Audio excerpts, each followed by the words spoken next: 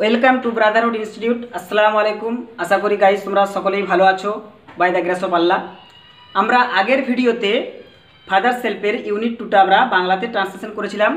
আজকে সেখান থেকেই ফাদার সেলফের ইউনিট টু থেকে কিছু টেক্সচুয়াল কোশ্চেন এবং তার সঙ্গে মোস্ট ইম্পর্টেন্ট কোশ্চেন আমরা কোশ্চেন এবং অ্যান্সার আজকে আলোচনা করব ইউনিট টু এর। ওকে গাইজ গাইজ দেখো এই যে প্রথমে আছে আমাদের চুজ দ্য কারেক্ট অল্টারনেটিভ মানে চুজ মানে বেছে নাও দ্য কারেক্ট মানে সঠিক অল্টারনেটিভ মানে এই যে অপশানগুলো আমাদের দেওয়া আছে একটা কোশ্চেনের তাহলে দেখিয়ে নিই আমরা প্রথম কোশ্চেনটা কি বলেছে?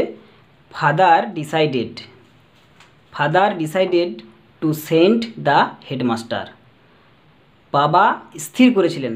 দেখো গাইজ এই যে ডিসাইডেড ফাদারের পরে যে ডিসাইডেড কথাটা লেখা আছে ভার্বটা আছে, এটা পাস্টে আছে।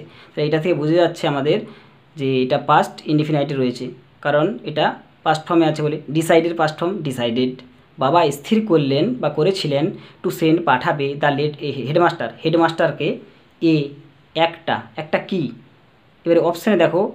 এ অপশানে আছে টেলিগ্রাম মানে টেলিগ্রাম বি আছে নোটিশ নোটিশ মানে বিজ্ঞপ্তি। সি আছে লেটার ডি আছে, লেটার মানে হচ্ছে চিঠি, আর ডি আছে রিপোর্ট মানে প্রতিবেদন।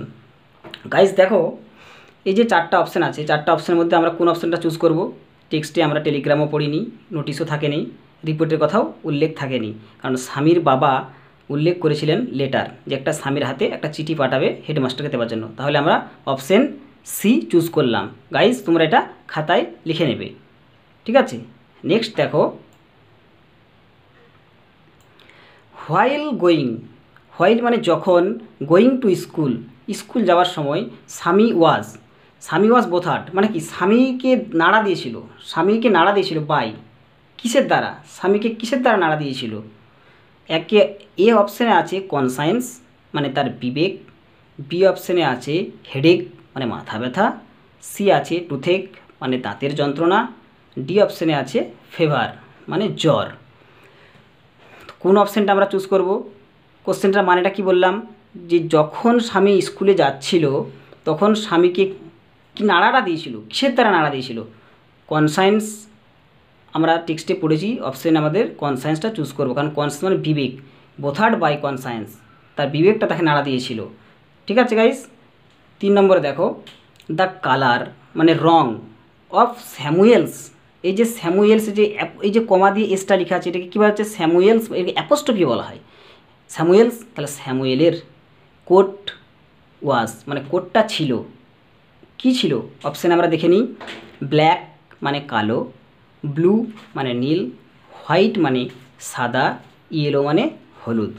গাইজ দেখো, আমরা স্যামুয়েলের কোট সম্পর্কে যেটা টেক্সটে পড়েছি ব্ল্যাকের কথা বলা থাকেনি ব্লুও থাকেনি হোয়াইট থাকেনি, নিশ্চয়ই স্বামী যখন মনে করেছিল যে স্যামুয়েল স্যারের কোটটা ছিল হলুদ বর্ণের, তাহলে আমরা ডি অপশানটা চুজ করব ইয়েলো হলুদ বর্ণের। চার নম্বরে দেখো নো অ্যামাউন্ট অফ প্রোটেস্ট কোনো রকম প্রতিবাদ ফ্রম স্বামী স্বামী যে প্রতিবাদটা করেছিল উড চেঞ্জ দ্য মাইন্ড মনের পরিবর্তন করতে পারেনি। অফ, কার? এ অপশানে স্যামুয়েল। স্যামুয়েল স্যারের মনে পরিবর্তন করতে পারেনি। না বি অপশানে আছে দ্য হেডমাস্টার না প্রধান শিক্ষকের, না সি অপশানে হিজ মাদার না তার মায়ের ডি অপশানে হিজ ফাদার না তার বাবার।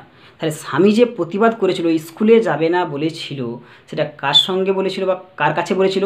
তার বাবার কাছে। তাহলে গাইজ আমরা চুজ করব অপশান ডি হিজ ফাদার তার বাবার কাছে যে প্রতিবাদ করেছিল, কোনো প্রতিবাদ কাজে আসেনি। Next when father handed when মানে যখন ফাদার মানে বাবা হ্যান্ডেড মানে কি? হ্যান্ডেড মানে কি? হাতে কোনো কিছু জিনিস দেওয়াকেই হ্যান্ডেড বলা হয়। তাহলে হ্যান্ডেড স্বামী, তাহলে স্বামীর হাতে দিয়েছিল দ্য লেটার মানে চিঠি, চিঠিটা। স্বামী বিকেম স্বামী তখন হয়েছিল, স্বামী কি হয়েছিল? অপশানগুলো আমরা দেখে নিই। অ্যাপ্রিহেন্সিভ মানে শঙ্কিত বোধ করেছিল। না আনকনসার্নড না সে অবচেতন হয়ে পড়েছিল। না, সি অপশানে হ্যাপি না সে খুশি হয়েছিল। ডি অপশানে কিউরিয়াস না সে কৌতূহল হয়ে পড়েছিল। যখন তার বাবা তার হাতে চিঠিটা দিয়েছিল, স্বামী তখন কীরকম ফিল করছিল? এই যে অপশান আমাদের ইয়ে চুজ করব অ্যাপ্রিহেন্সিভ মানে শঙ্কিত বোধ। একটুকু ভয় ভয় ভাব তার মনের মধ্যে। চিঠিটা কেন তার হাতে দিল? এর ফলাফল কি হতে পারে? তাই আমরা অপশন এটা চুজ করব। গাইজ দেখো অ্যাপ্রিহেন্সিভ মানে শঙ্কিত বোধ। নেক্সট দেখো,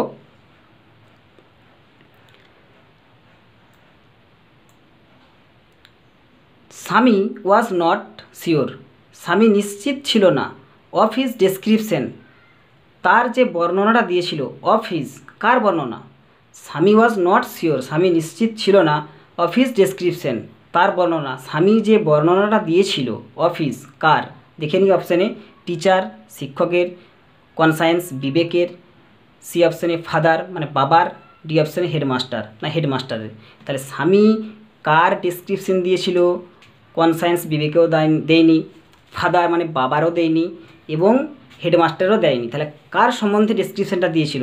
এই অপশানে দেখো গাইজ টিচার শিক্ষকের সম্বন্ধে সে ডিসক্রিপশানটা দিয়েছিল তার বাবাকে। নেক্সট দেখো স্বামীজ হেড মানে স্বামীর মাথা। এই যে দেখো গাইস এই যে এই যে কমাটা আছে, কমার পরে এসটা আছে, এটা হচ্ছে অ্যাপোস্টপি বলা হয়।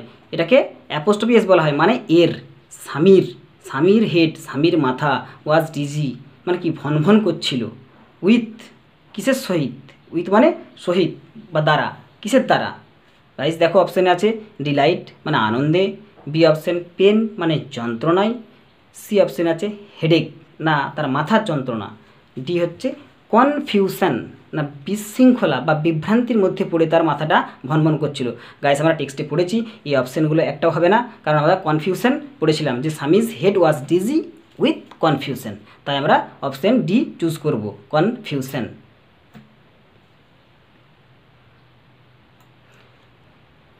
complete the following sentences with information from the text guys দেখো, এই যে কমপ্লিট কমপ্লিট মানে কি? পূর্ণ করো বা ভরে দাও। দ্য ফলোয়িং মানে নিম্নলিখিত বা নিচে যেগুলো দেওয়া আছে, কি দেওয়া আছে? সেন্টেন্সেস যে বাক্যগুলো। উইথ ইনফরমেশন তথ্য নিয়ে ফ্রম দ্য টেক্সট কোথা থেকে? আমরা যে ইউনিট টু এর যে টেক্সটটা পড়লাম, সেখান থেকে এই যে অপশানগুলো দেওয়া আছে, এই যে সেন্টেন্সগুলো দেওয়া আছে এইগুলোকে কমপ্লিট করতে হবে। যে ফাঁকাগুলো আছে, এই ফাঁকাগুলো পরিপূর্ণ করতে হবে। ঠিক আছে গাইস দেখো, একে ফাদার্স বিহেভিয়ার। এই যে আবার দেখো গাইস এই যে অ্যাপোস্টপি এই যে যে কমা আছে, কমার পরে এস দিয়ে আছে, এটাকে অ্যাপোস্টপি বলা হয় মানে এর। তাহলে ফাদার্স মানে বাবার। বিহেভিয়ার মানে আচরণ বা ব্যবহার। টুক মানে নিল, এন ড্যাশ। কি হতে পারে এটা? তাহলে বাবার আচরণটা নিয়েছিল একটা কি? একটা অপ্রত্যাশিত মোড় নিয়েছিল আমরা টেক্সটে পড়েছি। গাইজ আমরা নিচে এই যে অপশান দিয়ে আমরা উত্তরগুলো লিখেছি। এই দেখো, এই অপশানে আছে আনএক্সপেক্টেড টার্ন অপ্রত্যাশিত মোড় নিয়েছিল। নেক্সট দেখো। স্বামী ওয়েন্ট। স্বামী গিয়েছিল টু স্কুল, স্কুলে ফিলিং ভাবতে ভাবতে, অনুভব করতে করতে। তা স্বামী যখন স্কুলে যাচ্ছিল বা গিয়েছিল, তখন কি ভাবতে ভাবতে গিয়েছিল? দেখো গাইস অপশান বিতে আছে দ্যাট যে he was the worst boy on earth মানে কি হচ্ছে? স্বামী যখন স্কুলে যাচ্ছিল, কি ভাবতে ভাবতে? যে সে ছিল হি ওয়াজ দ্য ওর্স্ট বয় সে ছিল সব থেকে খারাপ বালক অন আর্থ পৃথিবীতে যত ছেলে আছে, তাদের মধ্যে স্বামী ছিল একমাত্র খারাপ ছিল। এই যে গাইস আমরা আগের দিন টেক্সটে বলেছিলাম যে ওর্স্ট কথাটা কোথা থেকে এসেছে? এটা হচ্ছে সুপারলেটিভ ফর্মে আছে, আর পজিটিভ ফর্ম হচ্ছে ব্যাড আর কম্পারেটিভ ফর্ম হচ্ছে ওর্স ওকে গাইস নেক্সট দেখো। স্বামী স্টপড স্বামী থামলো বা দাঁড়াল। অন দ্য রোড সাইড রাস্তার পাশে। তাহলে স্বামী রাস্তার পাশে দাঁড়াল টু ড্যাশ কী করতে? গাইস দেখো সি অপশানে আমাদের লেখা লেখা আছে নিচে যে মেক আপ হিজ মাইন্ড তার মনটাকে স্থির করার জন্য।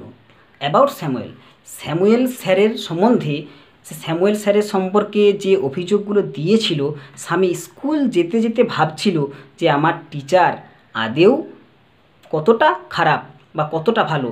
এই জন্যেই স্বামী রাস্তায় দাঁড়িয়ে মেক আপ হিজ মাইন্ড তার মনটাকে স্থির করল অ্যাবাউট স্যামুয়েল, স্যামুয়েলের সম্পর্কে।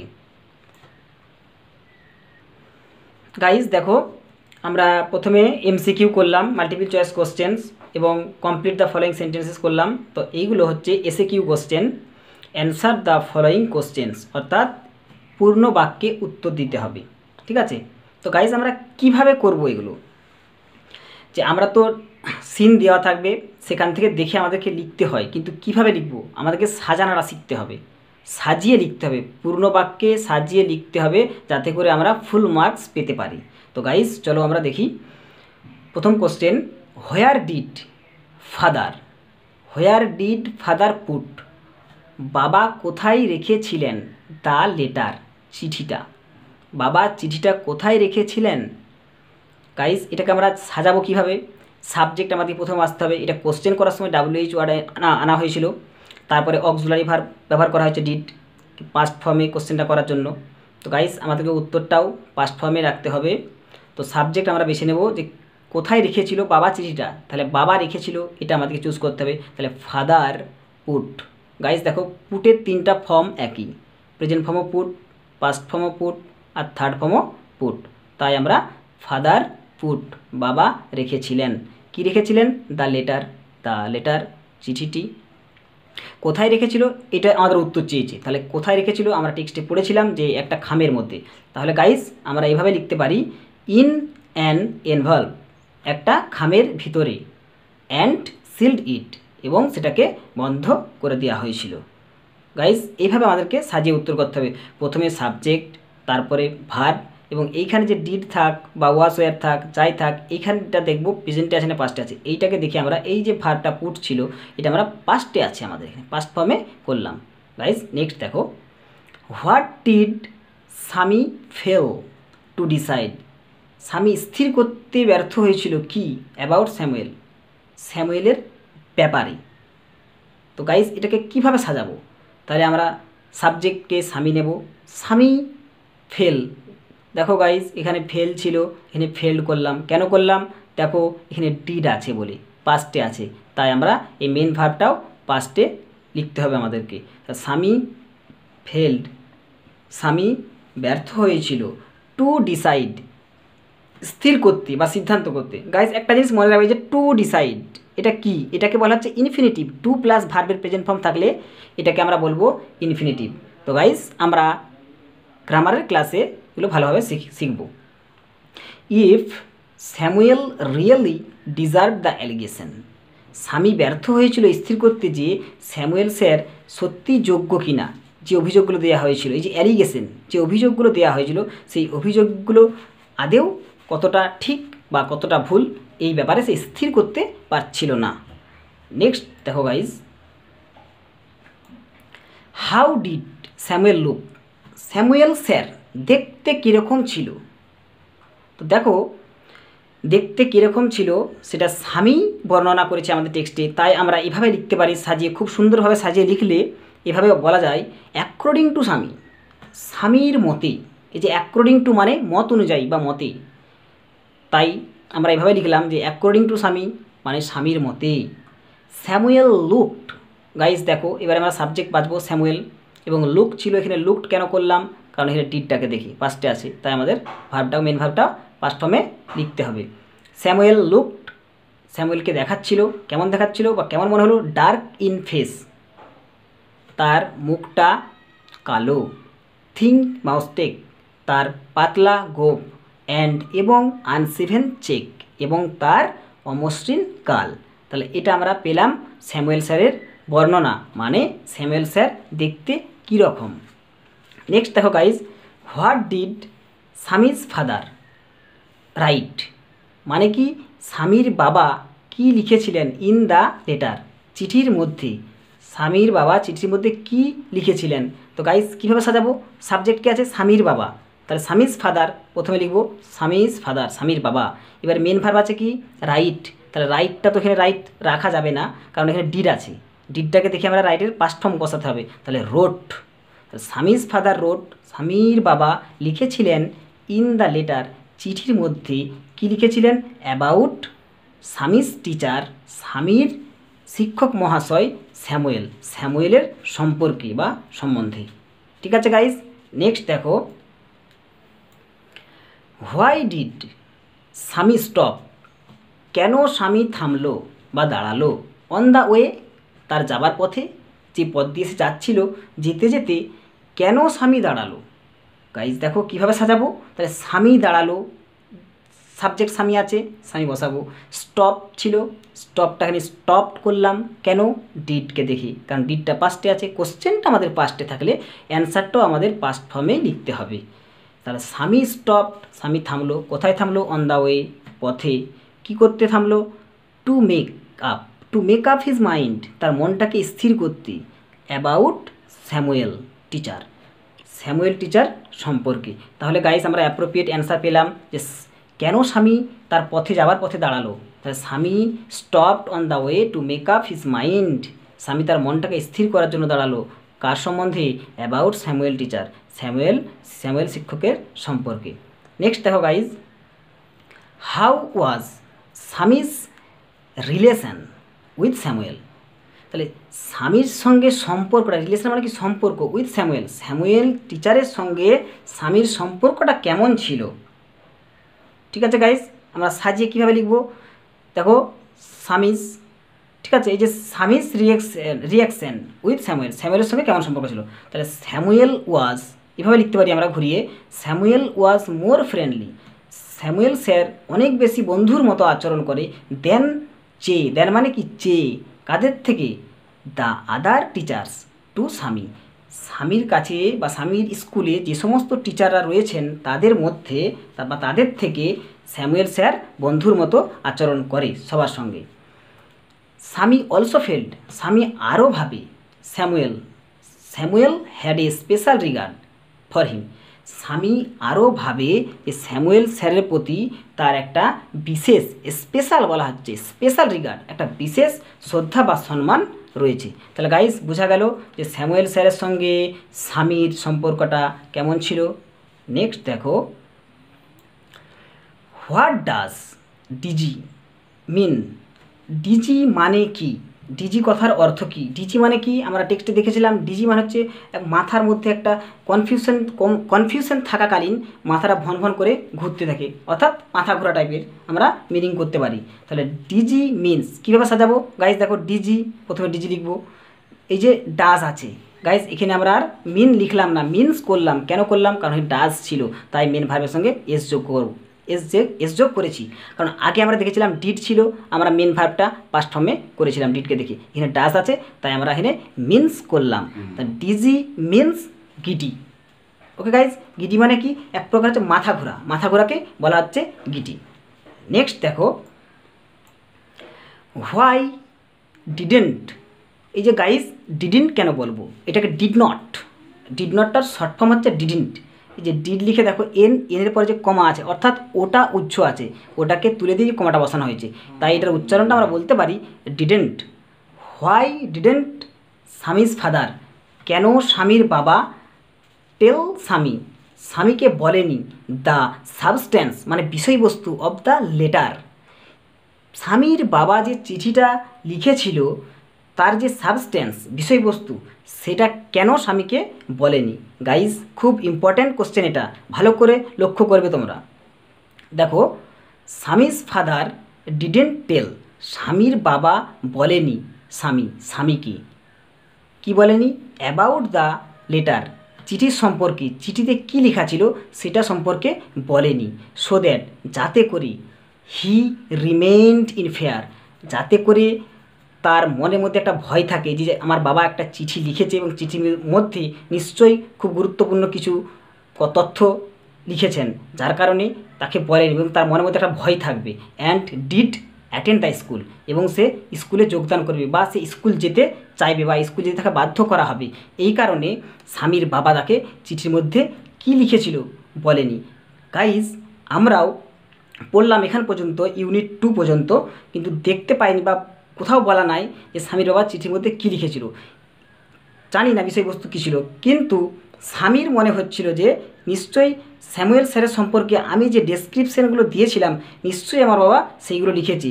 কিন্তু স্বামীর যে ডেসক্রিপশানগুলো দিয়েছিল, আদেও সেগুলো সত্য নয় বা রিয়েল নয়, যার কারণে স্বামী ভয় পেয়ে গেছিল এবং সে স্কুল যেতে বাধ্য হয়েছিল।